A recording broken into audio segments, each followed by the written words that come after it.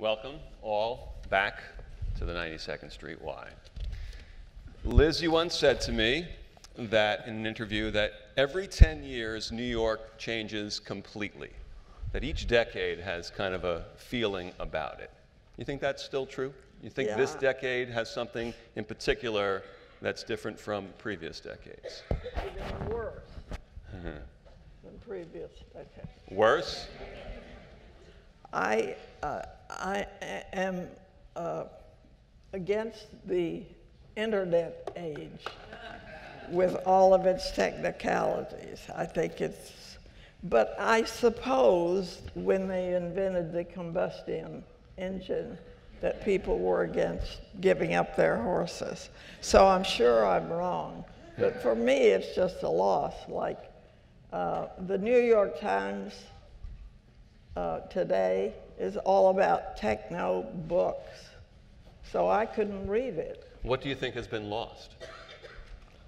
Well, it, I don't think it's good when everybody's opinion is the same. I mean, and everybody has an opinion, and you try to, you, you don't read, you look frantically, I do, for bylines, because I don't care what millions of people think, or Twitter. I, I'm just too old fashioned for this.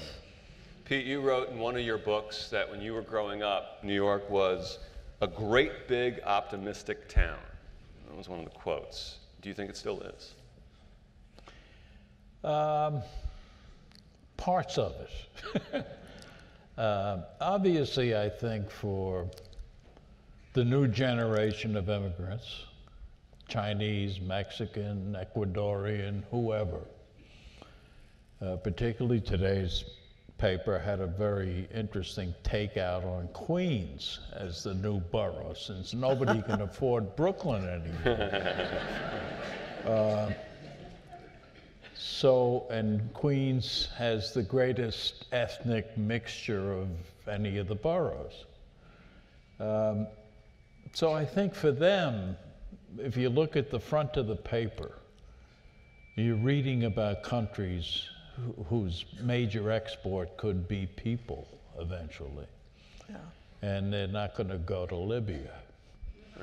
Um, So I think, you know, long run, if we can hold things together in the country, uh, that you're going to have a bigger and better place with a, without a sense of American exceptionalism, whatever the hell that means, um, and without spying on everybody uh, within sight or out of sight. Um, we, we, we seem somehow to be able to bug the heads of state all over the all over Europe and can't get a computer system to work for healthcare. what the hell is that all about? Let, let alone to know when the A train's going to be showing. you know, that's putting technology to use. You all came here from other places, and you came here to write, you came here to report. So, Gay, when you th- think about young writers who are here now, do you think the landscape has changed so totally, or do you think there are common threads between when you came here from New Jersey and then University of Alabama, and you started working at the Times, uh, to common thread to those years, mid 50s, to what's going on right now? Or is it just so different Well- that it's all, all, all changed? I think that the changes that I've noted in the more than 50 years of residing here have been changes for the better. I think that the opportunities that I had or thought I had when I was in my early 20s are still here for young aspiring writers or journalists. I think the city that I remember and the place in which I live today, I've lived in the same place for more than 50 years. I have a, from the vantage point of, a, of an occupant of a single block on the East 60s of New York, I have not seen, when I moved in in 1958, and still there in 2013, there has not been any change for the worse. The buildings are the same.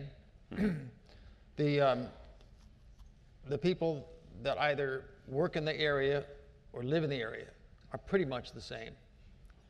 I think that where there have been great changes from the 50s, when I was young, to now, are changes that are positive. For example, when I first came to New York, before I moved in the 60s, I lived for two years in Mulberry Street. I was a copy boy for the New York Times at first, and then later on I was a, a night rewrite man. And what I remember about Mulberry Street, or remember about the lower part of Manhattan, what was so unusual then, for example, were black and white people dating. That was so unusual. I remember there's a bar called Louis Bar, in, I think it was in Sheridan Square. And there was one place that had, had blacks and whites dating together. God, it was. Today, you know, we may have an interracial couple in, in Gracie Mansion. Mm-hmm. Uh, and we, we have that situation with our president, and it's so common. I think that the city is cleaner. We used to be dogs would poop all over the sidewalk, you'd step in it. Before the pooper scoopers that were, I think, introduced by Mayor Koch, if I'm not, maybe I'm wrong. But today it's a much cleaner, safer city. Granted, we have debate on Frisk, on the, on the, on the issues of, of the police department. But it's a safer city. Central Park is a safer place. People can sit in Times Square. I used to work out late. I used to leave the New York Times building as a, as a rewrite man at 11 or 12 or 1 o'clock. And you always would get, if you weren't approached and frisked uh, by, by some guy that wanted your wallet, you always had problems there. Mm-hmm. There aren't the problems there now. So this is, I'm not saying any mayor is to be credited with, but I think it's a better city now than I ever remember. And, and it's so crowded with people from all over the world testifying the fact people like to come here, like to visit here as tourists, like to stay here as people. And finally, I do think that poor people, people that are not on, uh, you know, that aren't up here on stage, are still finding a place to live, including in Manhattan. I know, I know a lot of poor people in this town that do live much better than they would and more happy about being part of Manhattan or, or New York than was the case when I was 50 years ago when I was young. Now, getting back to the, the dogs no longer pooping on the sidewalk or in the street, that was because of a phone call, Calvin, that you made, right? You kind of took care of that whole thing. Is that correct? or am I, am I, misquoting you on? No, on I was anti-poop. There's no doubt yeah. about that. um, well, I think we have our headline for the well, night. Trillin reveals himself to That's be right. anti-poop. Under under under uh, grueling grilling, questioning. Grilling, yes, right. Um, I've, I haven't, uh, I've lived also in the same place, not as long as Gay, but I, I lived in my house since 1969. I live in the village. Well, I used to live in the village. My house is in the same place. But the, the, the real estate people have decided I live in the West Village, oh, okay. uh, which is better.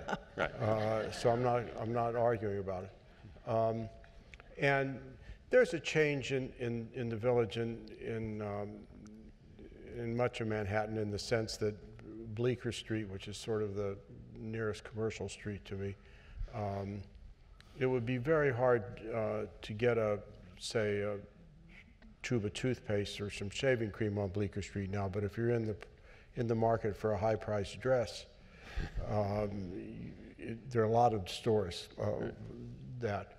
Um, but, but it feels the same. I mean, the village, to me, uh, and as Gay said, there have been a lot of improvements. Um, it, you, it used to be you wouldn't be able to walk over by the Hudson.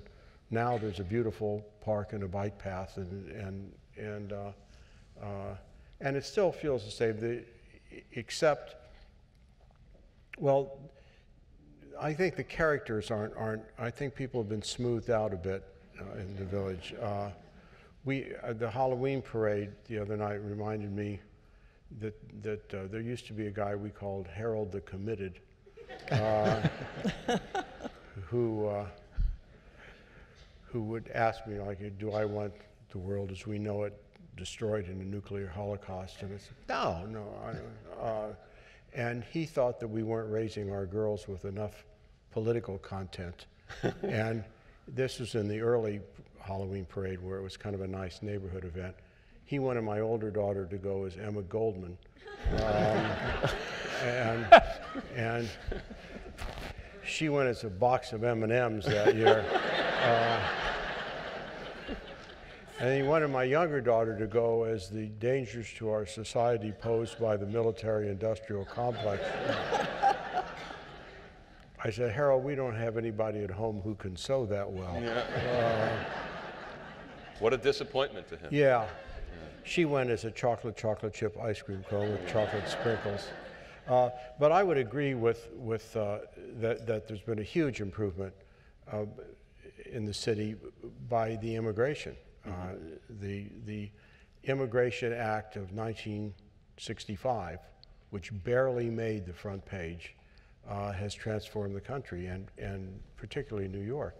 Uh, and just as uh, in a matter of, say, eating, um, we had a system before based on national uh, quotas that, that favored Great Britain and Northern Europe um, and actually let in more English people than wanted to come. They- they never filled their quota Right. and, and excluded Chinese. Well, in culinary terms, this is a suicidal policy. Uh, uh, uh. Great.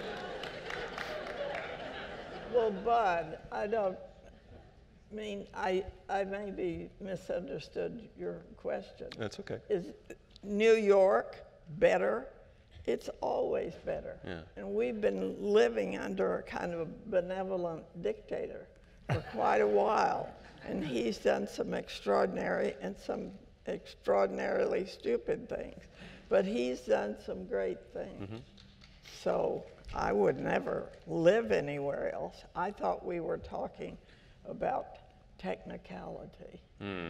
So, well, let's talk a little bit about you, uh, Calvin. You mentioned, and for the record, we're, we're going with Calvin, not to make too fine a point on this, because Mr. Trillin spells his name, or is called Bud by the entire world, except for me, with one D. And we have this ongoing Bud with one D versus Bud with two Ds. But you, you should not be, you do not, should not be worried about that. That's something that we'll. And you shouldn't think that this bud's putting on airs by putting another D. Uh, It's perfectly okay, and nobody can blame him for that. Go ahead, Bud. You said front page of the paper. You've all had extensive uh, experience working at newspapers in New York. Uh, here's a question that we could spend the next hour and a half on. We will not, but I want to throw it out to all of you. Where are we right now as far as newspapers in New York City? Liz? Well, when I came here in 1949, and I'm older than all of these young guys, uh, I worked for nine different newspapers. I did either freelance or I was hired by them and they went out of business. Now we have three, and well, I guess we have four. We have the Wall, Wall Street Journal, but two of them are despicable and horrible. And, and though I made a lot of money under both of their names, I'm, I'm really quite ashamed of what they do. And appalled uh, at the quality of things. I guess it, it shocks me when I read the Times and they have spelling, misspellings and things. They never used to have that.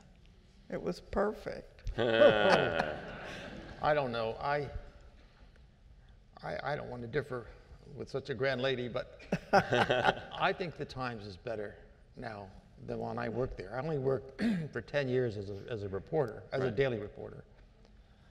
And um, I, I read the Times now. It takes me sometimes two hours. I do carefully read it. I don't read other news. I, in the afternoons, I do read those favorite papers of yours, the News and the Post. But I think the Times is better now. It's, um, it's, well, it's a more intelligent paper because reporters are more intelligent. When I was a reporter, very few of us went to elite colleges. Bud Trillin, the graduate of Yale, was one of the exceptional people who went to Yale. In, in my defense, I never worked for a newspaper. Oh, that's why you went to Yale. well, Um, if you don't like him, it's not my fault. I have nothing to do with it. But um, That's great. I, I, I don't want to dwell on this too much, but the Times is a much better paper than I worked when I, than when I worked on it. Well, it's I know more what- what do you think about it? responsive. Well, I, it, it, I think the subject matter of the stories in the Times is broader now. Some of it drives me nuts. The 71 character, 71 uh, word lead, for example, where you're trying to get to the end of that first paragraph, God. and you're barely awake yet.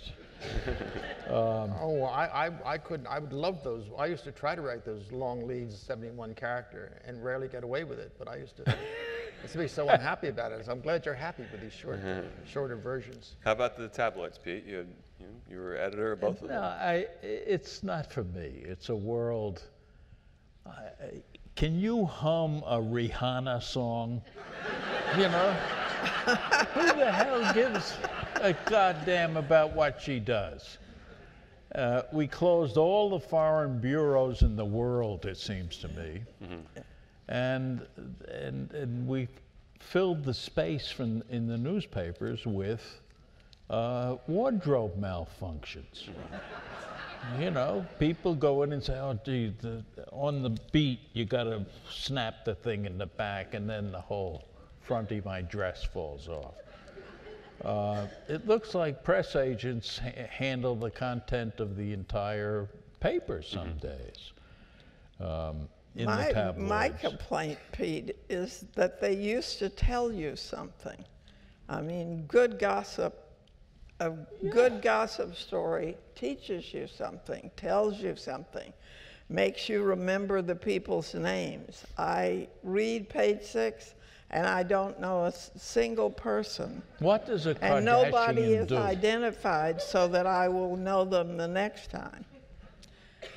But that's what I mean. In other words, you're talking about people called celebrities without Right. knowing what they're celebrated for. That's exactly Uh, you know, there, there's no Say- music they make that's terrific or passionate or important. Uh, there's nothing, no books they write that are any good.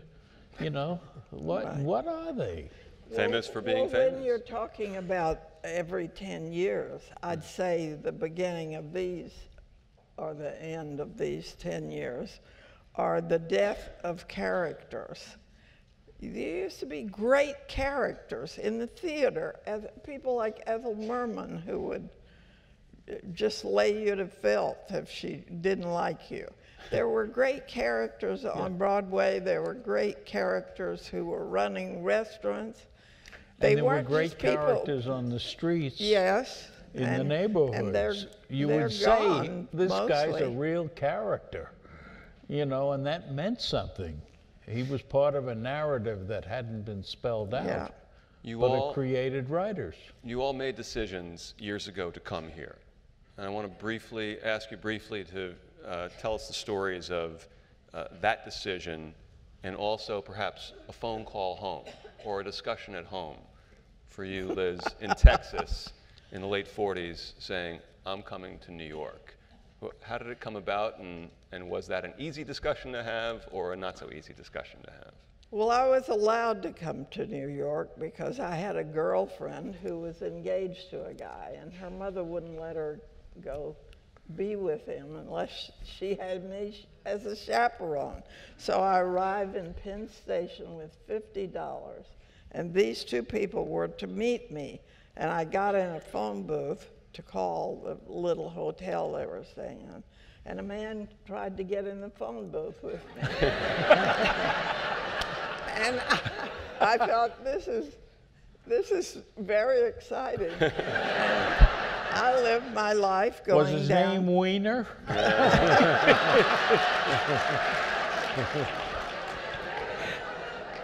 So I worked a long time before I got a job in the newspaper. The, for some reason, the New Yorker and the New York Times, they turned up their nose at my Bachelor of Journalism. The University of Texas actually has a Bachelor of Journalism. Are there phone calls home like, uh, I might come home, or I'm staying, or your Oh, family, no. come on back, that type of thing? No, for the first three months I lived in New York, I would I couldn't read for the first time in my life, and I'd run out on the street and think, what'll I do next? Where'll I go? There's so many great places to go. There are places where you can have a full meal for a dollar and a quarter, you know, with wine and cutlery and so forth. I was so dazzled by New York, and I haven't really been disappointed. Yeah.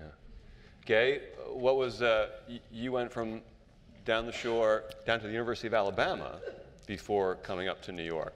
Uh, your family okay with your decision? Did you wrestle with it, or was New York, it was going to be New York or, or, or nothing? Well, I, I always wanted to work for a newspaper when I was in high school. And when I went to the University of Alabama, for which I'm very grateful to the University of Alabama accepting me as a student because no other, no college in New Jersey, my home state, or New York, or neighboring Pennsylvania, I couldn't get in. The only reason I got in Alabama, I, I've said this to you before, but my father was a tailor and he had a, his best customer was a surgeon who lived in our town but was born in Birmingham and was on the faculty, uh, medical faculty. And he, this doctor from Alabama, after I couldn't get into college, told my father he could get me in Alabama, for which I was very grateful. My father was grateful, so I went to Alabama. And I, but I worked in, I, wasn't a good student there either. But I was on the newspaper, of the, of the university newspaper. And I wanted to come to New York. And I wanted to work on any of the seven papers, but I, the one paper I could get a job as a copy boy was the New York Times. So that became my paper and remains my paper. Uh, and I found the greatest thing about journalism, it forces you to get to know all kinds of people quite different from yourself. One of the things I regret now for young people is that we don't have the military conscription anymore. One of the things about being in the Army out of university, whether you go to Yale like, like Bud did, or Alabama I did, or wherever, Liz, Texas, or, or Pete from B- B- Brooklyn by birth, Army gave us a chance to meet people of our age group who didn't have backgrounds, university educations, or any kind of education. Mm-hmm. We mingled and we got to know a lot about the country through the, through the experiences of those who are our age group, but not necessarily of similar ambition or similar background. So journalism was that way, in getting you from day to day, sometimes your own idea for a story, or sometimes an assignment foisted upon you by an editor. You'd meet all kinds of people. You'd write about all kinds of people. So you got the, in the city of New York, the universal sense of the city, the great variety and, and, of, of people of, of different colors and languages and ambitions. And it's the greatest job. I think a newspaper job is the greatest job in the world I for agree. curious people. I agree. Curious people, and I think you've written also for shy people. for shy people, giving you the press card was a, a license to invade other people's privacy with their concurrence. You know, And it's the greatest job. I mean, I, I, I, I've always looked upon my do- my youth uh, in the Times building as the happiest time of my life. Not only because of the stories, but because the people you work with. When I quit the New York Times, it wasn't for any disagreement with the paper. I wanted to write about the reporters and editors I knew about. So I quit in 65, and the first thing I did is go back to interview the editors and reporters and copy readers and, and, and, and window washers and elevator operators that I knew from my experience of being in the building in 229 West 43rd as it was, and to write about them. And that was the first time I wrote a book that people read was about the New York Times, The Kingdom and the Power. And that was just because I loved the people more than I loved the stories we were asked to write. But the people I thought that were, that were there, reporters, this whole cadre of characters, were really interesting. And that's what my first book was about. Calvin, uh, family back in Kansas City, you decide you want to come to New York City. They okay with it, or did you have to? Well, I think the original decision was coming here for college. We, I, I, rather, rather than leave Kansas City and come to New York, I just didn't go home. Uh, and, and that decision was pretty simple because my father, who didn't go to college uh, and grew up in St. Joe, St. Joseph, Missouri, had read a book called Stover at Yale uh, when he was a boy and uh, decided that I should go to Yale. Uh, and after some ineffective rebellion, I, I went to Yale. Um, and as far as whether he was happy about what I did, uh, I've looked for evidence that he would have approved. I always say that my father's aspirations for me were pretty simple. He wanted me to be president of the United States. and his fallback position was that I not become a ward of the county. Uh, uh, and I think that's kind of common for parents, really. Uh, I mean, sometimes you think, God, how did we produce this truly special human being? And sometimes you think, can that kid find his way home? I mean, then, um, so it was, and I looked for evidence that, that he would have approved um, uh, of, of what I did. Uh, and I, th- I think he did. He, he, um, it, when I was about in eighth grade, the schools of Kansas City ran out of money and ended early. And my father didn't think that kids ought to be on the street that, that early. So he sent both my sister and me to Sarah Sean Hooley Secretarial School uh, to learn how to type.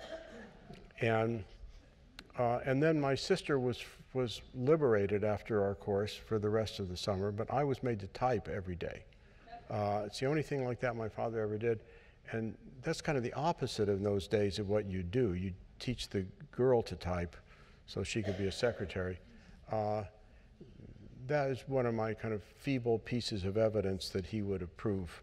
Uh, and, I, and I think he did. He, he, um, he was somewhat puzzled when I left Time for the New Yorker because he was more familiar with Time uh, than the New Yorker.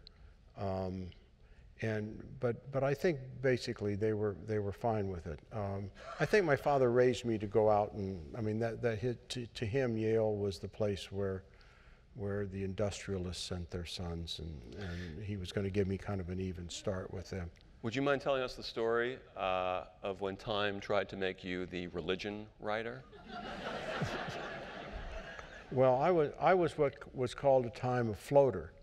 Um, that is, uh, I don't know if some of you are old enough to remember this, but Time and Newsweek uh, used to be divided into sections music, uh, sports, press, religion, and then there was a bigger section in the front, foreign affairs and national affairs. And the people in the back of the book would sort of be, uh, there was just one writer for each section, and he would get stuff in from the reporters all over the country. And he became sort of an expert at this. He would, I mean, the, say the religion writer would, that's how Time had this authoritative tone. The religion writer actually had lunch with Lutheran liturgists and, and, and uh, drinks with the Lubavitcher PR guy and stuff like that. and, uh, and, and, uh, and read the quarterlies from the Presbyterians anything. And then he would go on vacation and the floater would come in uh, from, say, sports or sh- show business, whatever he'd done the week before. Um, and, and we called it instant omniscience because when you sat down at the guy's desk, suddenly you had that authoritative air, even though you had no Yeah. idea uh, what was going on. And, but I got into the religion section, and the guy had found some great, what we used to call in the Army TDY, temporary duty. I can't remember, but he was, he never, he came back, he wouldn't come back. So I tried to get out of the religion section by putting alleged in front of any historical religious event. Uh, uh, uh, on, all right, um, the alleged parting of the Red Sea, the 30 days after the alleged crucifixion, and, and um, it didn't do any good. The, uh, they were they they really they, they were experienced with smart Alex in those days at times. They just crossed out the alleged. Uh, Pete, you've written about and you've spoken about uh, often about the notion of when you were growing up, the idea of there being a green ceiling, that in your family, uh, Irish American family, the notion of what, you're not going to be a cop? You're not going to be a firefighter? Well, the, the notion of ambition. My question to you is do you think that still, and we can talk a little bit about that, do you think that still exists?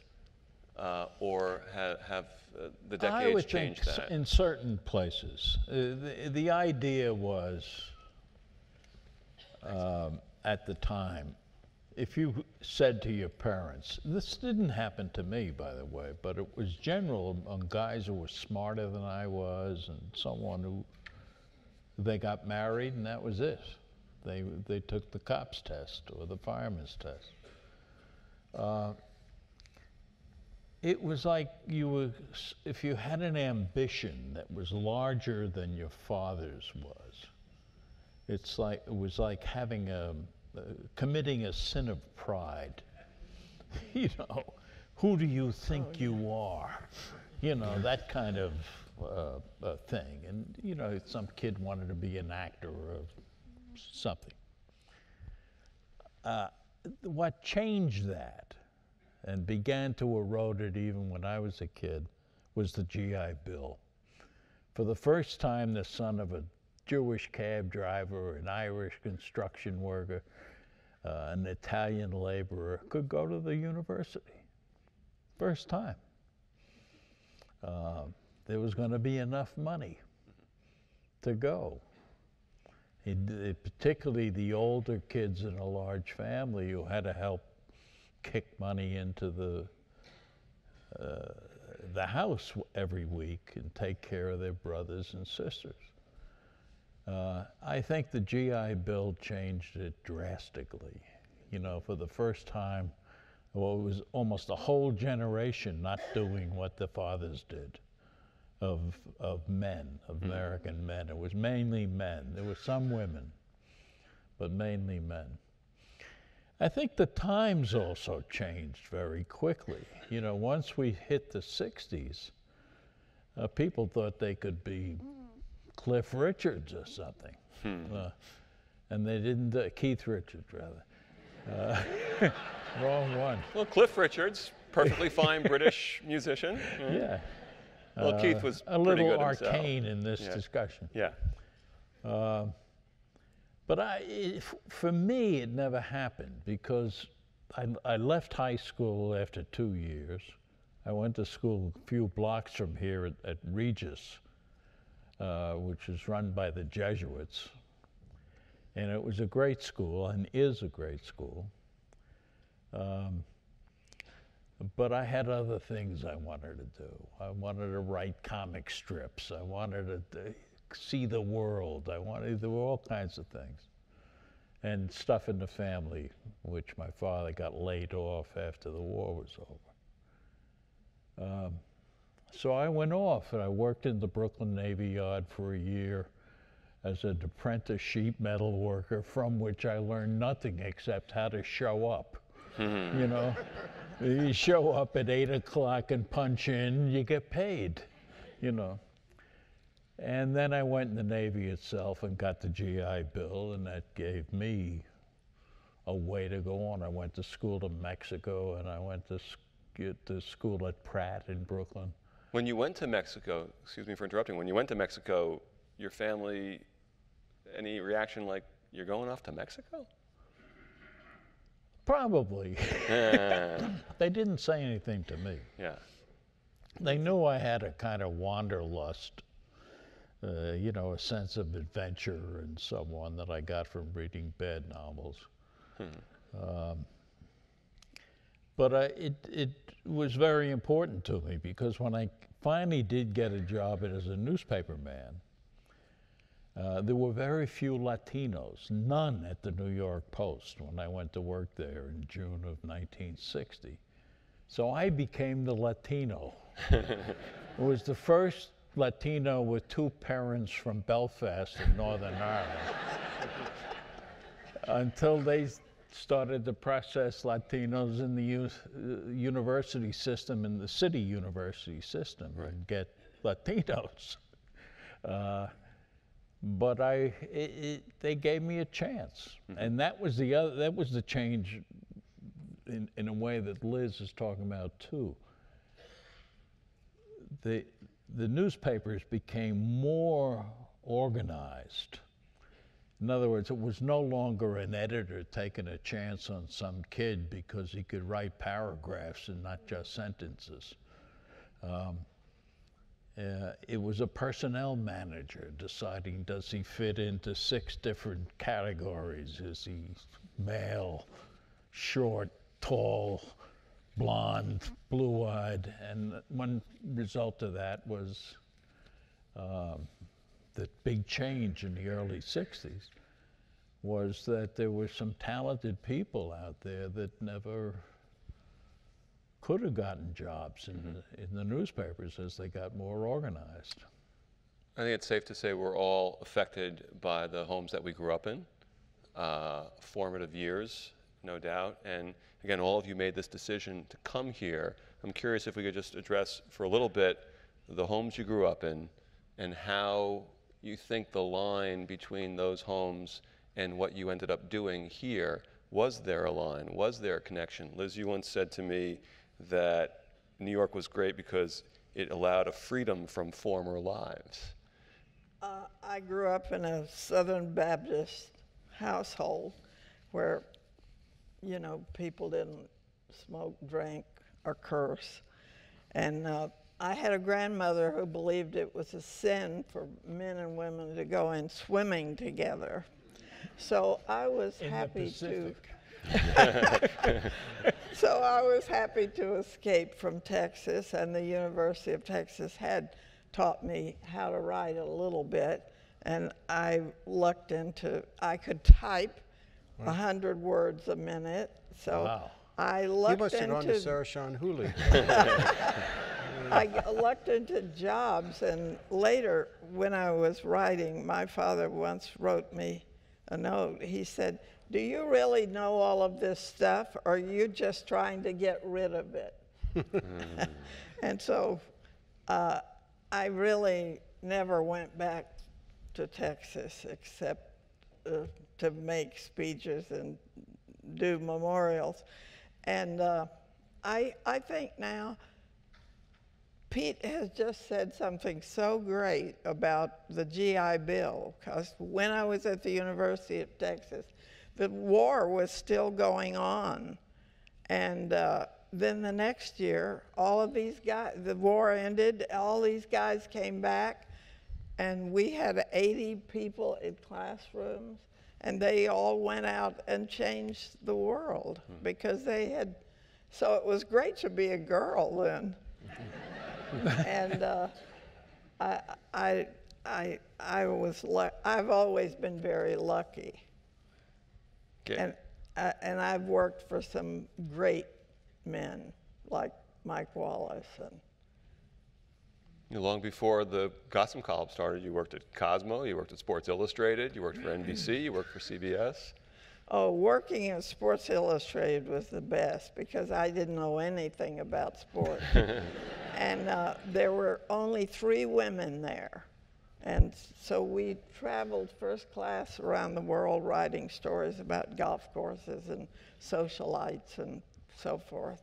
And we were the soft side of Sports Illustrated. And for five years, I forgot that you had to carry money and passports because these guys who would be the, the writers who would go with me, they took care of all that. Wow. You know, little lady, here, here's your ticket.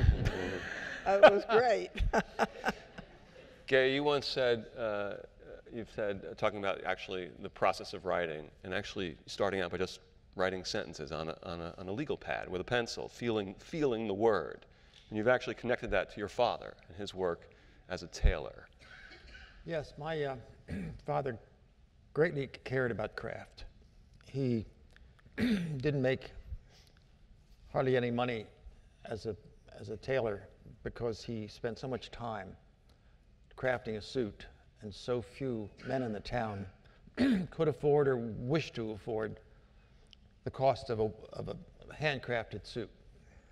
And, um, but I did see him doing by hand what could have been done quicker with a sewing machine, but he felt that he would be doing a better job with his hands in making a suit, and he was absolutely right. It wasn't profitable, but it gave him a sense of achievement, making something that would last, a suit that did not the seams wouldn't come apart after two years and the buttons didn't fall off. And I associated that with my own way of writing, with hand, not using the computer. I did learn, as you all have, to be a typist. The one thing in school I was good at was typing. But, um, and why I became a reporter has to do with my background too, because during the war years, uh, the baseball teams, New York Yankees especially, did not go for spring training to Florida, as was the case before the war. And so the Yankees chose, beginning in 1944, when I was 12 years old, training in Atlantic City, which is 12 miles, 12 miles south of Ocean City. So I started going by trolley after school and sometimes quitting school to go by trolley to watch the Yankees during February of 1944, and they also were there in 45 as well. And that's where I first saw sports writers from New York covering the team, as well as the players. And I thought, boy, being a sports writer, following the Yankees, getting paid to write about it, seeing, I loved sports. I mean, I really became hooked during spring training as a boy of 11 and 12. This was, this was the most magical thing in the world to be a sports writer covering the great Yankee. They were a championship team then. Right. And I thought that's the best way to make a living. And in, in a way it is till you get to be a little older and realize there's more to reporting than covering the Yankees.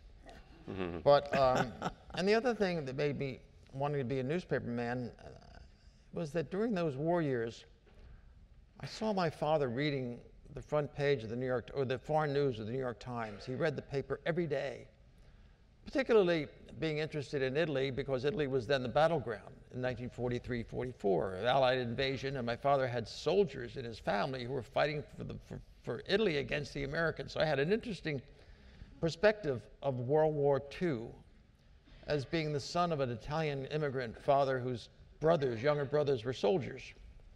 And reading the newspaper as he did, this was how he would find out how things were going through this foreign reporting of the Times, how the war was going. And as the, uh, the, the, the Times always had a lot of maps, and, the, and the, during the war, every day there was a map showing with an arrow pointing across Sicily towards southern Italy as the Allied armies under Mark Clark and the, and the Canadians and the English as well were, were going up the boot of the, uh, uh, of, of, of the peninsula of Italy.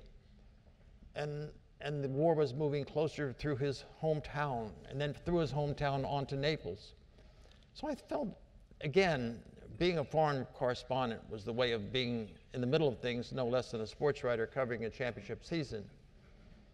And I also became attracted to the newspaper as a form of information. So I, it was almost destined that I would not be a tailor, but I would be a kind of journalist that cared greatly about the craft of writing. And I got this not from the Times as much when I got older, it was really from the New Yorker. I would start reading short stories by my favorite writers, John Cheever, uh, Irwin Shaw, a wonderful writer, not remembered much now, John O'Hara, uh, sometimes uh, others. And I thought to be a short story writer with the skill of being in the New Yorker level, and yet to do it with real names, to be a short story writer using real names in real situations, but still being a storyteller, as the great writers the New Yorker were, was an aspiration that I still have. Uh, you've all written extensively and occasionally written about family. And uh, Calvin, I think uh, you once uh, said that writing about your family is tricky business. How did, it, how did it get started? Is there kind of an understanding, spoken or unspoken, that this is going to happen? Well, uh, of course, one of the things is how much you can say about your family. Um, uh, when people say, um, well, it's art, so it doesn't make any difference if, if some people would have to be hurt or embarrassed or something. I said, well, I have the Dostoevsky rule, uh, which is if you have reason to believe you're another Dostoevsky, you can write whatever you want to about your family. uh, uh, you, can, you can write about the time your mother confessed to you that she didn't never really loved your father, um, even if it makes things awkward in the retirement community. Um, Uh, but if you're not a, if you're not another Dostoevsky, you can't. Uh, you have to be. I, I, I think, for instance, I I don't think anybody could read what I've written about my daughters and tell one from the other, um, and I wouldn't. Um, and um, at, at times, well, I was on a book tour once with a book I wrote about my father, and and someone asked me in a bookstore in San Francisco, "Do you ever worry about your own children writing about you?" And I said, "No, I don't worry at all because when they were five and eight, I had them sign non-disclosure agreements." uh, uh, uh, the, the, nothing elaborate. I mean, I, I used the one they use at Buckingham Palace for the servants. And the, little one couldn't write. I just put a sign there or something like that. Um, But at a certain point, you did stop writing about them.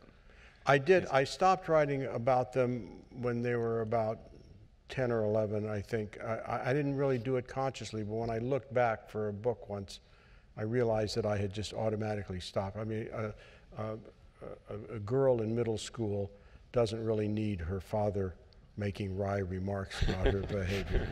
Um, uh, at one point, I did do a, a piece on uh, a column on how the approaching vocabulary tests from the SATs changed the vocabulary of, of teenagers I knew. And I identified one as a teenager I know named S.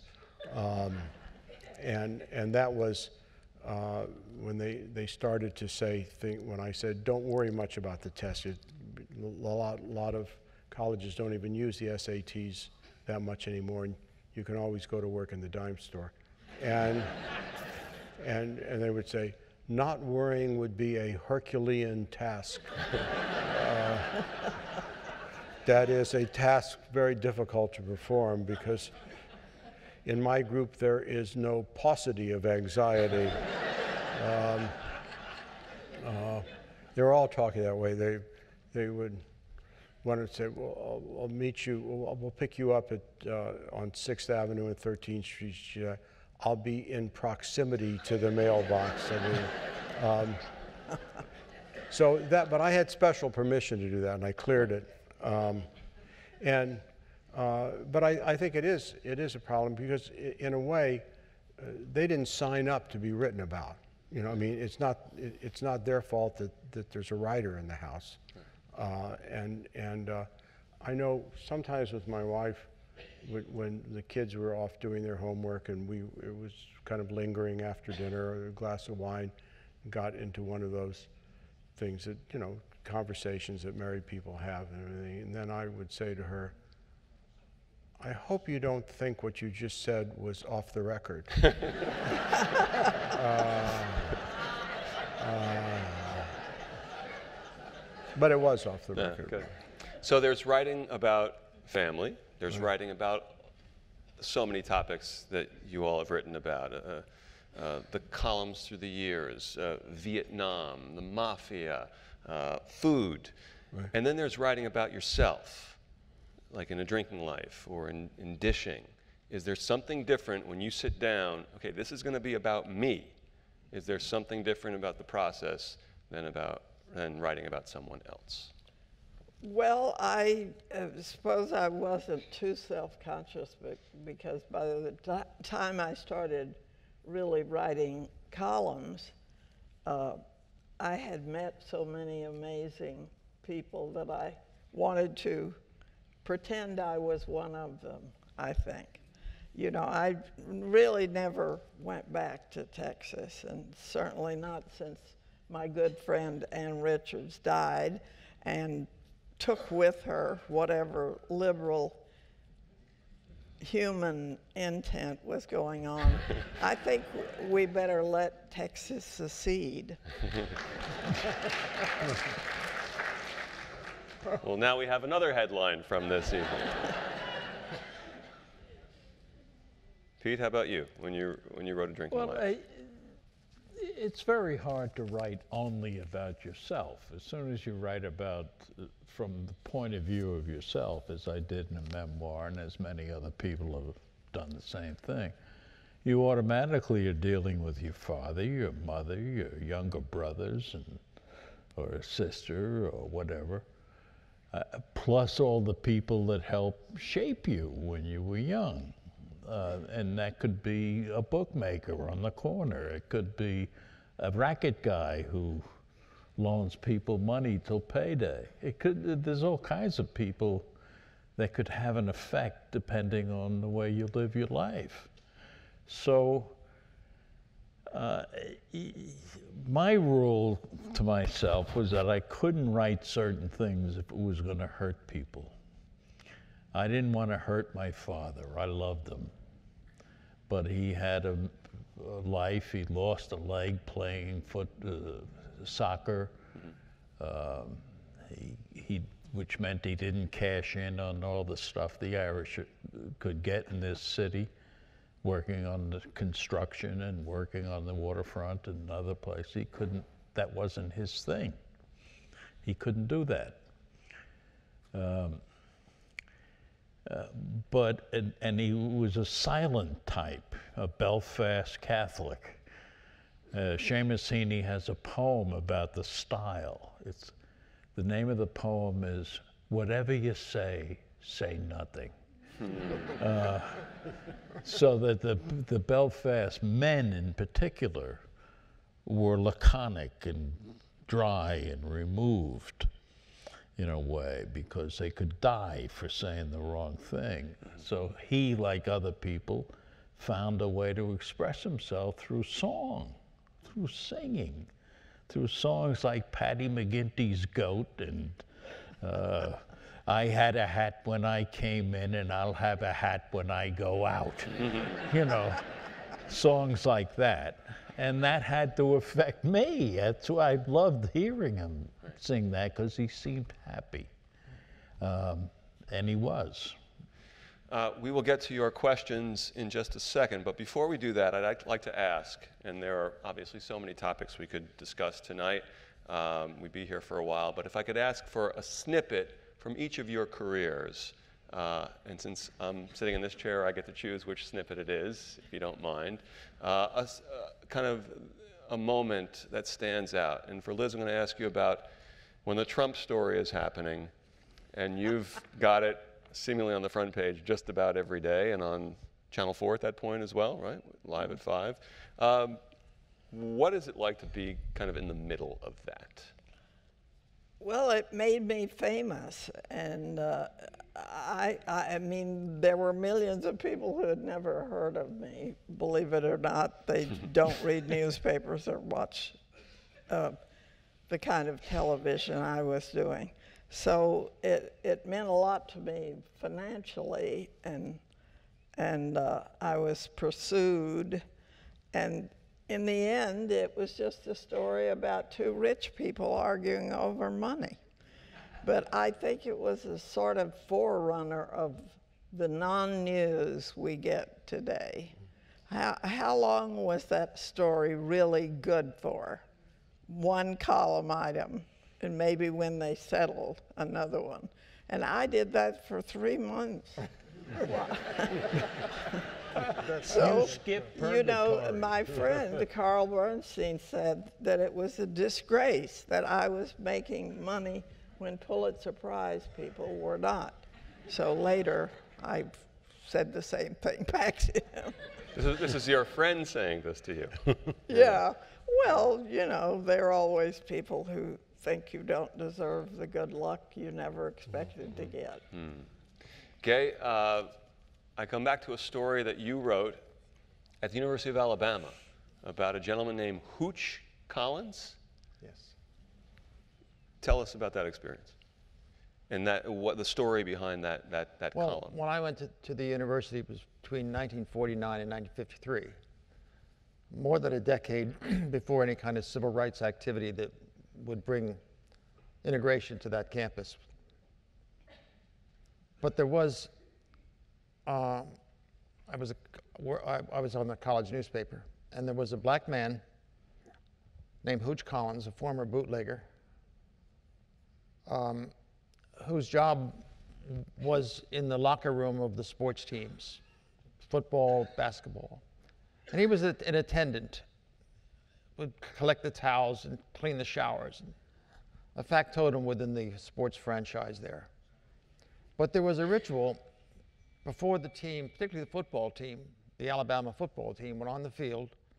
They would line up, and this black man would be leaning down, and they'd all put their hands on his head as they made their way out of the locker room into the stadium. Sign of good luck. You had to put your hand on hooches. And I wrote a piece for the college newspaper making the connection that this is a segregated school. And the only connection that really was intimate was the white hands of the football players and the basketball players on the, on, on the, on the, on the, on the forehead and the top of the head of this guy. And without writing anything that was polemic or, or, or, or predicted better times ahead after the civil rights marches did finally produce in 65 a Voting Rights Act and led to finally integration on the University of Alabama campus, which didn't happen until 1972.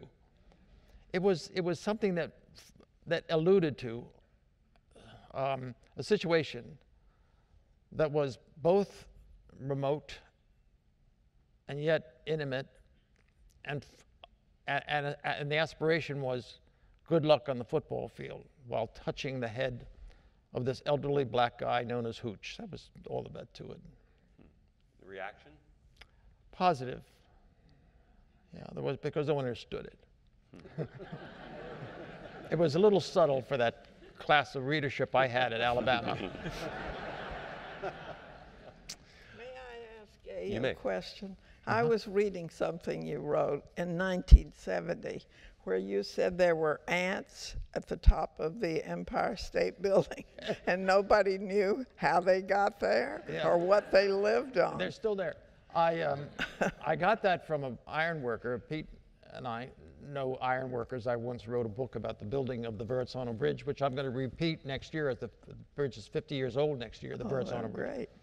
Anyway, uh, this iron worker who was part of the group in the 1930s who put the top of that tower together, we now know as the Empire State, he said, there were ants up there. I said, God, no, how do you, I saw them, I was around them. Jesus, I put that in a book. And uh, it got readers such as you remember that. Well, thank you, Liz. I remember everything. You're, you're so great. Thank you. I heard that an ape carried the ants up to the top of it. Yeah. Calvin, when, when we think of you, we think of uh, the pieces through the years, the pieces about food, uh, pieces obviously with uh, a, a good dose of humor in them. And I'd be remiss if I didn't mention the beautiful piece about your wife, Alice, off the page Right. in the New Yorker. Yeah. But one of your first experiences was covering the civil rights movement and Yes. covering the freedom rides. And your first book was uh, Yeah, an education in Georgia. Right. It was the first New Yorker piece that I did uh, about uh, Charlayne, then Charlayne Hunter, later Charlayne Hunter Gault, and Hamilton Holmes going to the University of Georgia. Um, I, I spent a, a, a year in the Time Bureau in Atlanta, and I think it was really my first. I had had some kind of temporary jobs, but I, then I was out of the army, and this was sort of my first grown-up job, really. And uh, I think I still was unsure of if that's what I wanted to do. And uh, I remember stopping in Washington um, a couple of years later when I went back when they were about to graduate, uh, and I did that piece in the book. And I and I had dinner with uh, my friend uh, Bob Semple, who was still on the the board of edit, the editorial board of the New York Times, and he was working in the Washington. Um, I think it was the Dow Jones had that paper for a while. I can't remember the name of it. It was sort of a folksy paper, and and um, he had just done a story for them that uh, talked about about calling somebody to find out what something and his secretary not doing and then arguing and then looked around the city room and all the people were doing the same sort of thing and he said is this a job for a college graduate? And i think it may not be. I mean there's a lot of it that doesn't have anything to do with that. And, uh, but after I went to the South for that year, I just couldn't imagine doing anything else. Uh, but I was, I was very lucky that I was there for a year when a lot happened. As you may know, the, the civil rights story in the South moved on plateaus, so there sometimes would be two or three years when there was nothing happening because there wasn't any real push from the federal government. Uh, but the year I was there uh, was the, uh, the freedom rides, the sit-in movement, the integration of Atlanta and Nashville, the New Orleans schools, the um, um, so so there was a lot happening, and um, the the head of the bureau. I was the second man and the junior man in the bureau, and the head of the bureau, who was married and had three or four kids, actually liked to stay home with his family. Um, so he would send me out, and I couldn't imagine how anybody could do that. I was single then and young. That I got to go to these places and get chased by rednecks and stuff, and and he, he he just missing out on everything. I thought, just staying home with his wife and family. Hard to believe. Uh, unless I have my research, I've done my research incorrectly, there is one person sitting on the stage who has won a Grammy Award. It's not necessarily for music, but it's, it's kind of connected to music. Pete Hamill won a, unless I have something wrong. Grammy Award? No Grammy Award? Uh, Uh, Does an Oscar? No, never no mind. Grammy Award. Pete Hamill won a Grammy Award for the liner notes on one of the great albums of all time, Bob Dylan's Blood on the Tracks. Yeah. It's not well known, but Pete wrote all the songs also. He recorded all the songs, and Dylan was having a rough time, so you gave him credit. How, how did that connection? Yes, Liz. Can I just add one thing I brought because of Pete, who was, I had the great fortune to make him, to name him a living landmark of New That's York. That's true. So we've had a lot of fun together. He has a kind of a marble look. Yeah. So all of you Pigeons on know top of who, all of us old-fashioned people know who Jonathan Schwartz wi- is. And now he is on WNYC all the time featuring a streaming site called the jonathanchannel.org. And we would have lost him otherwise because radio is too stupid to hmm. keep. Yeah, they're still. we st- This was in the New Yorker, so I guess it was okay. It's been fact checked. How did you come to have a connection with Dylan and write the notes and be in the studio also for the recording of part of the yeah, album? he. I had known him earlier when he did his first uh, Gerde's town Folk, hall. oh, I think Gerde's Folk City w- was the first time he was in New York. the first concert Yeah, oh, thi- I- thing, rather than a club. Yeah. Uh, he invited me to come, I, and I had never heard of him. How, did he heard it- how come he knew you? From reading the Oh, stuff in the oh, oh, I Post. I had done a series on 42nd Street called Mm-hmm. Lost Bill when it was heroin and Yeah. all kinds of other stuff just hanging around. Um, so I got to know him then, and I s- would see him every once in a while when he lived in New York, and then he, he s- pulled up stakes and went to the West Coast. But out of the blue, he called me and said, I'm doing an album in New York. I'd love you to write the liner notes. I said, okay. Uh, simple as that. Do you I know what did- liner notes, that, did you know what that meant? Yeah, that I know. I actually won another one for Dexter Gordon album. You've been- you- you Cold two- as different as You've day been and night. out on us here. Wow. The interesting thing is that young people now probably would not know what liner notes So- is because no album. I go to the studio, which was on the street near the Colony uh, Records, uh, Colony Music. right. And at some point, Mick Jagger comes in. And they had just finished doing a version of Shelter for the Storm, Shelter from the Storm. Playing music was already recorded and singing into the recorded music. And there's Jagger standing next to Dylan going, I can't hear it. Nobody can hear it. bye, see you later. And he leaves. And I said to Dylan, What was that all about with Mick Jagger? What did he say to you?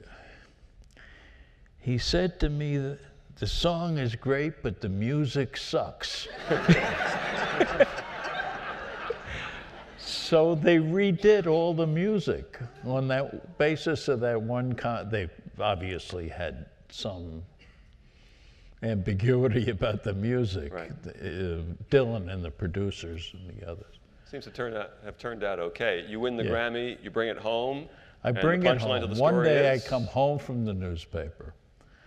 I have custody of my two daughters with somebody ta- helping take care of them when I'm late at the office. I come in to the house in Brooklyn. Um, the both of them are acting very weird. I said, okay, what happened? Well, what happened? He said, You know the, the thing that you had on the mantelpiece? you know, that has a horn coming out of it? it looks like an RCA Victor Yeah. Victrola. Mm-hmm. I said, Yeah, what about it? And one daughter goes in and gets the two pieces that it's now in and bring it to me, ashamed of herself. And I break into laughter. I hmm. couldn't help it. It was, you know, and what had happened, they were playing football in the living room. and you go out for a long one with a with the Grammy, you miss somebody's hands and it mm. breaks into. Grammy in can half. make a great football. So I kept it. Now it's not about Dylan or anything. It's about those two girls that I love so much. Some questions from the audience. Here we go. And I'm sorry we won't be able to get to all of them. Uh, this one we could spend hours on. Do you miss Elaine and her restaurant?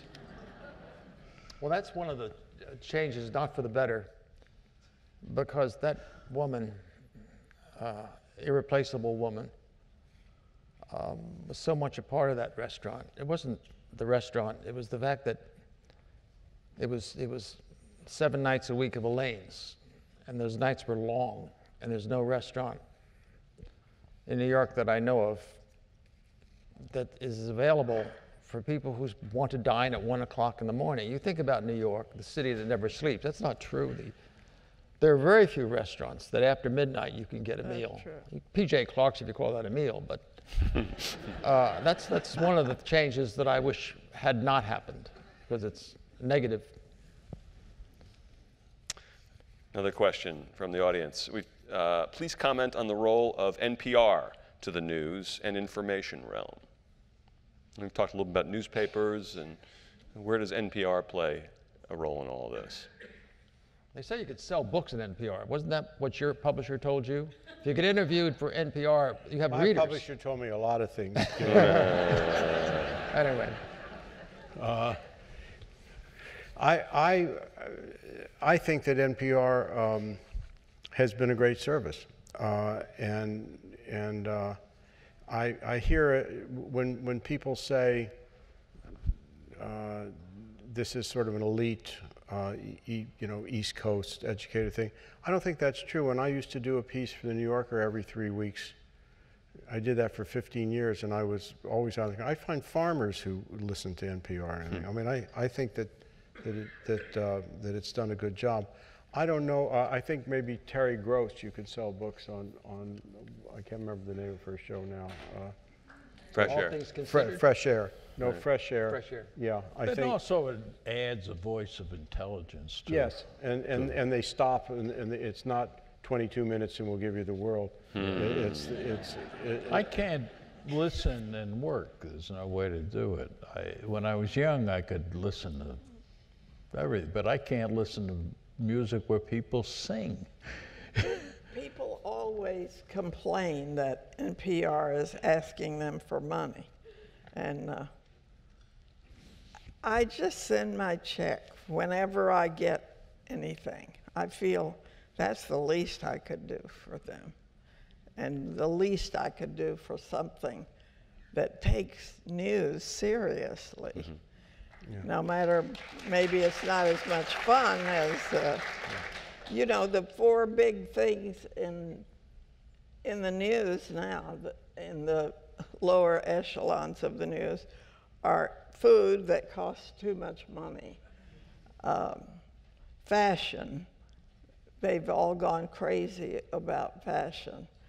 I forget the other two, they're equally. But I mean, it's not news. Right. Uh, this is for Pete. Did you originate the quote, he was born on third base and thinks he hit a triple? If so, to whom were you referring? No, that, that was, No, I think it was uh, that was Ann Richards. Ann Richards, yeah. Ann Richards did that. That was part of her speech in the Atlanta Convention when Dukakis Yeah, was nominated. But the other line got. It was about George W. Sure. Bush. oh, yeah. that's right. that's, It was the father. the other line was the, Oh. You know, born with a spoon in her mouth. That was the line that got the, the big attention Right. from that speech. yeah. Uh, can Calvin tell the story about playing tic-tac-toe with the chicken in Chinatown? the, the, Sydney Goldstein, who runs City Arts and Lectures uh, in San Francisco, has told me that anytime I mention the chicken, she's taking $500 off my fee. um, however, it was by request. Um, as some of you may know, there, there used to be a chicken that played tic tac toe in Chinatown. Um, and I would take out of town visitors on a walk from the village where I, the West Village, excuse me. Uh, I used to take them from the village. Now we, we start in the West Village and uh, walk down to, um, to Chinatown and uh, give them a chance to play tic tac toe with a chicken after, after a lunch. And the chicken was in a glass cage with the sort of lights that, that are familiar to anybody who wasted his life on, in pinball when he was a child. And, and, and they lit up and they said things like, your turn, bird's turn.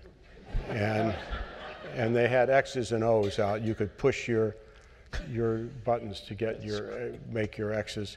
And the chicken would get behind a little booth that said Thinkin' Booth on it and peck his answers. Um, and if you beat the chicken, you got a very large bag of fortune cookies, which only cost 50 cents to play, and fortune cookies were probably worth 35 or 40 cents. Um, and and um,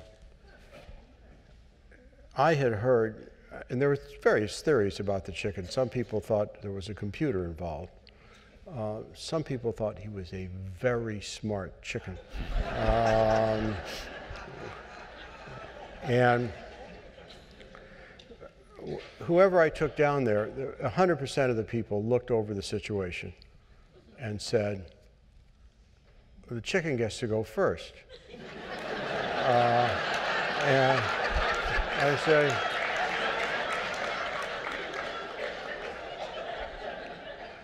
but he's a chicken. Uh, you're a human being. Surely there should be some advantage uh, in that. And then a lot of them, not every one of them, but a lot of them said, chicken plays every day.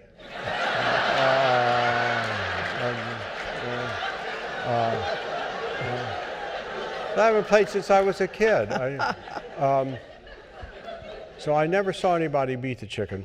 And I, I later did a piece on the chicken. Roy Blount Jr., who probably has been on this stage many times, had told me once that the chicken was trained by former graduate students of B.F. Skinner.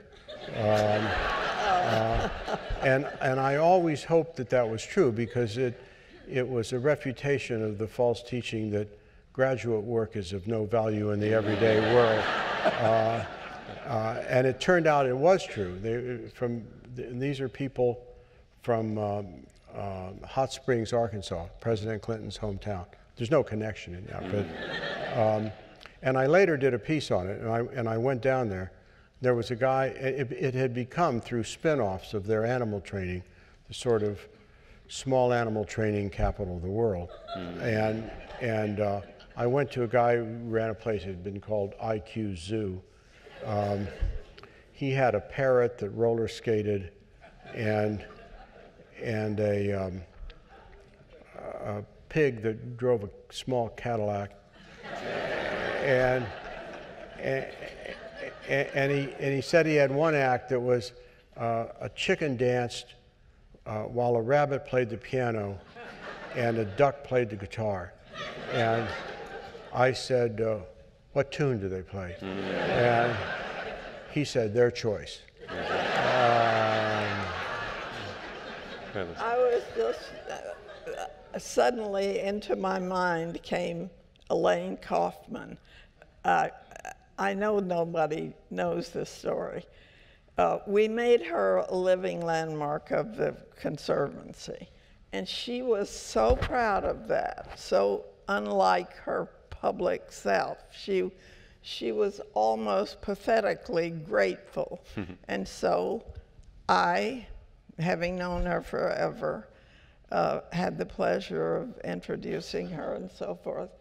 And at the end of the evening, George Steinbrenner came up to me and said, Liz, I have something for you. He gave me an envelope with a $100,000 check in her honor to the New York Conservancy, which saves buildings and parks. And, and that was the most money we had ever been given at one time. And she sold 10 tables of guests. So she, she was convinced that she was loved. Mm. And, and she died shortly after that. Mm. As we start to start to wrap up, in the world of sports, uh, specifically baseball, there's always the story about the uh, the pitcher, veteran pitcher, and the question is to the pitcher or just a, about him in general: Does he still have his fastball?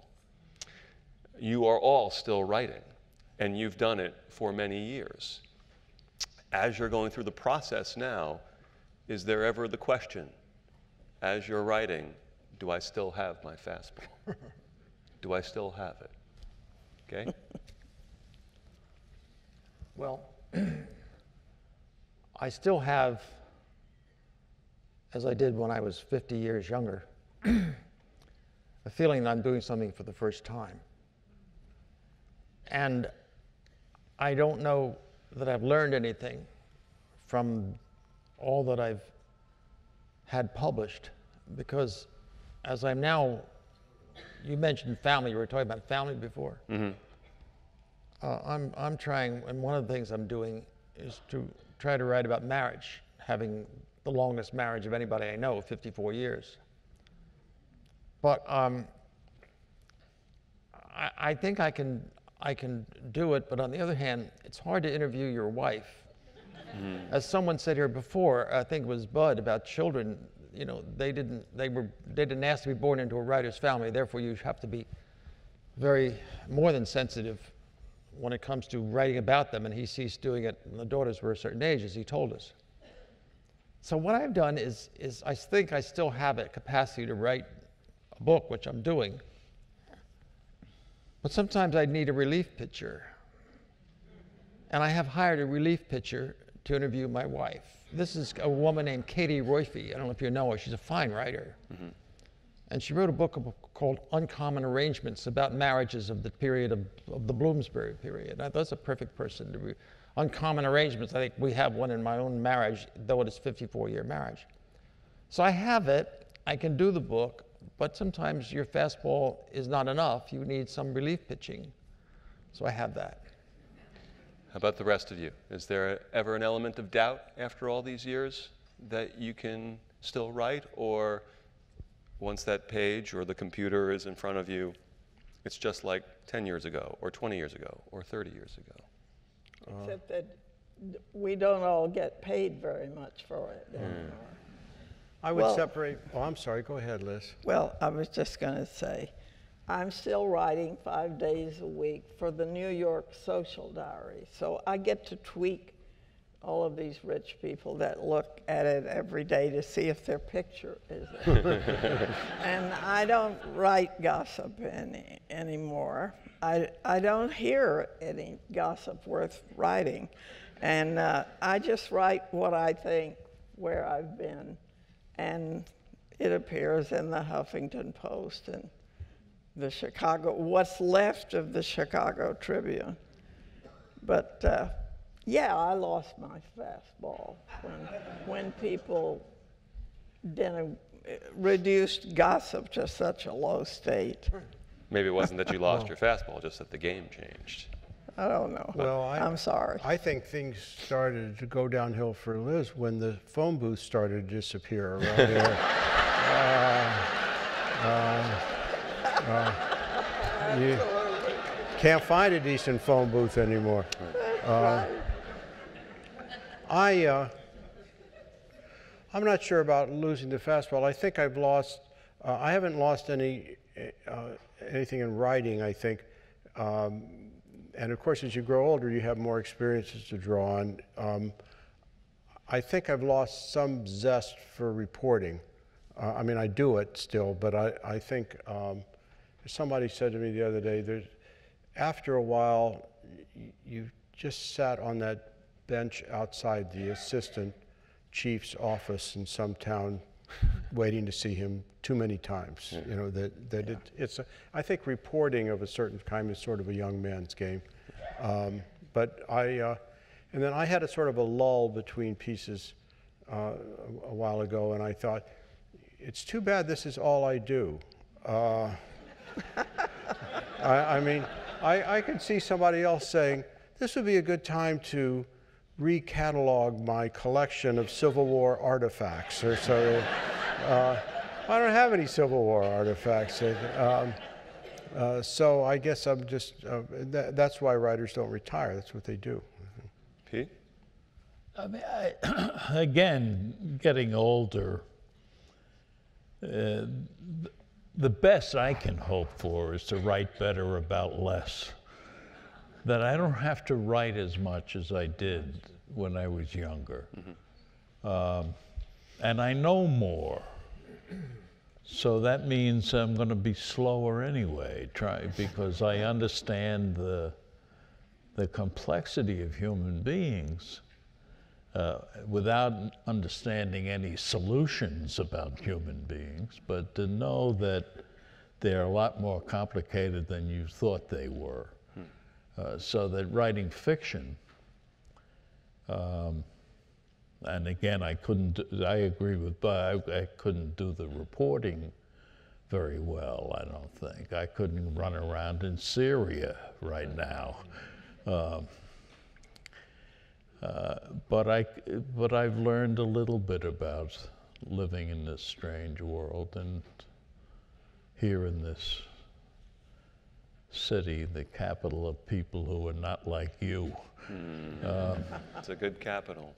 Uh, last thing, I started the evening by talking about how you all are, are, and this evening I think has borne this out, wonderful storytellers. So if you each could, um, in, a, in a lifetime full of wonderful moments, and I, I would imagine seminal moments, is pick out a moment for us, perhaps early on, when you're here from the various places from which you came, and perhaps either gradu- a gradual feeling or maybe just one moment where you start to realize it's happening, it's working, I'm here, the city is great, I'm doing this work that I love.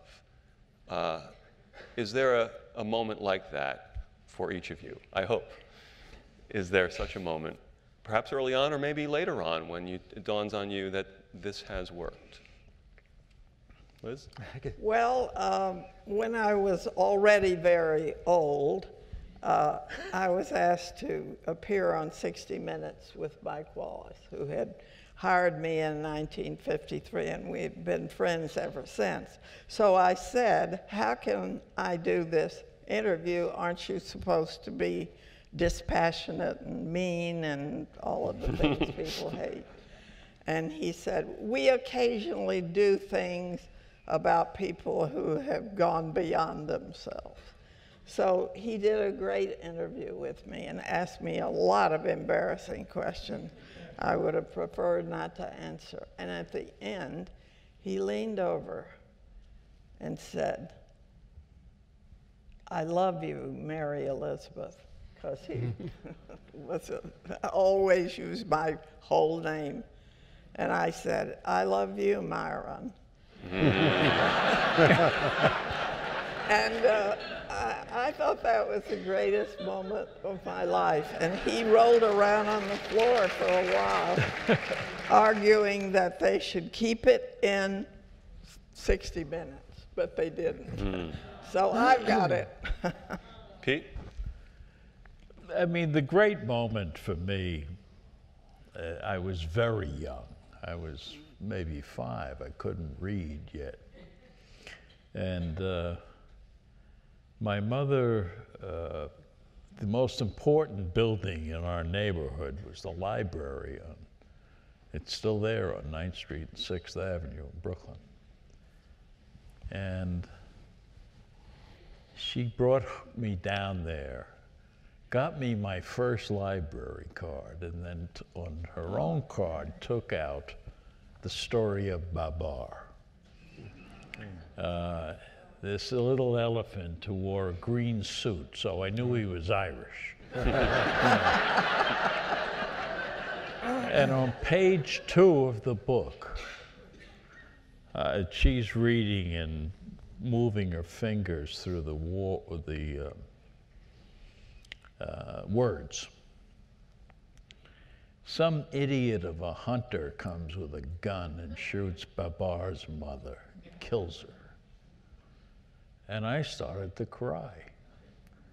Uh, the, the idea that somebody would kill your mother was like, how could that be? Um, and so Babar goes wandering off, heartbroken, uh, and finds his way to this place called Paris. Although the name wasn't in the book, in the text, my mother explained that it was Paris. Ever since, I've loved Paris and hated guns. Hmm. and wish I could write a book as simple and elegant and human as that book about a little elephant boy. Hmm. Calvin? I don't think, I don't know if there's any moment. I, I remember a, a moment once when uh, we were coming, I drive a lot through the city. Um, I was asked the other day uh, for a program at the library, they like to, for you to give a seven-word biography of yourself. And my biography was resident out-of-towner, competent parallel parker.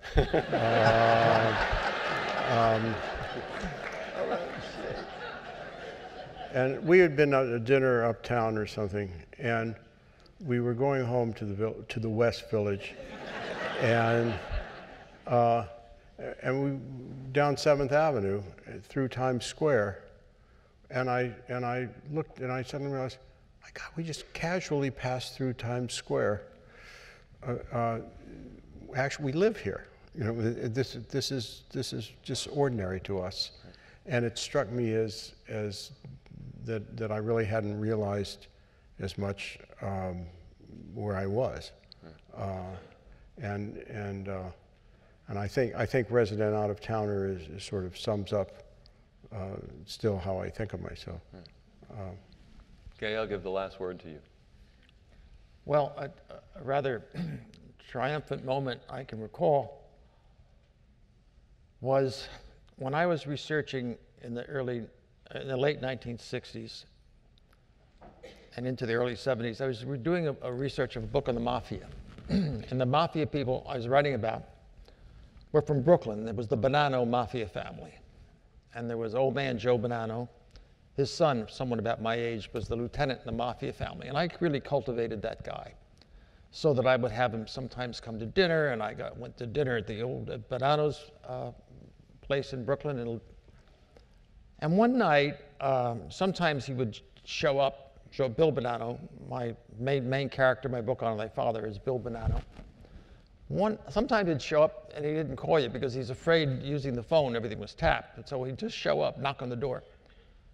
And one time, it must have been 1970, 71, I was, Nan and I were, suddenly, I, I was supposed to have a dinner with Abe Rosenthal, who was my boss at the New York Times then. He wanted me to have dinner with him, Abe did, and Nan as well. And we didn't have a babysitter.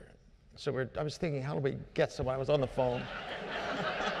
just then, knock on the door, Bill Bonanno, hey, I'm just, I'm in town now. Maybe we have dinner. I said, gee, Bill, I can't. In fact, I'm looking for a babysitter. I have to, I have to go to see Abe Rosenthal. He's invited Nan and myself. And, and Bill said, Bill Bonanno said, well, I'll, I'll babysit for you. and he had these two bodyguards outside the house. And I said, sure, come on in. So I went to Abe Rosenthal's for dinner that night, and I said, you wouldn't believe who's taking care of us right now.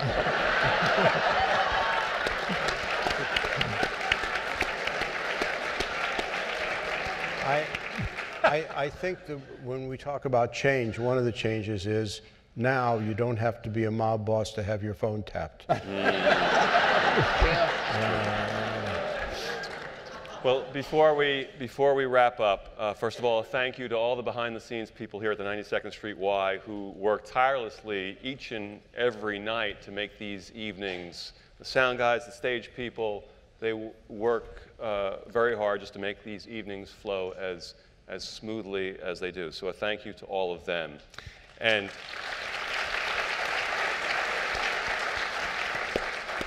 each of you, each of you have made us laugh, and you've made us smile, and you've made us think, and you've made this city a richer place.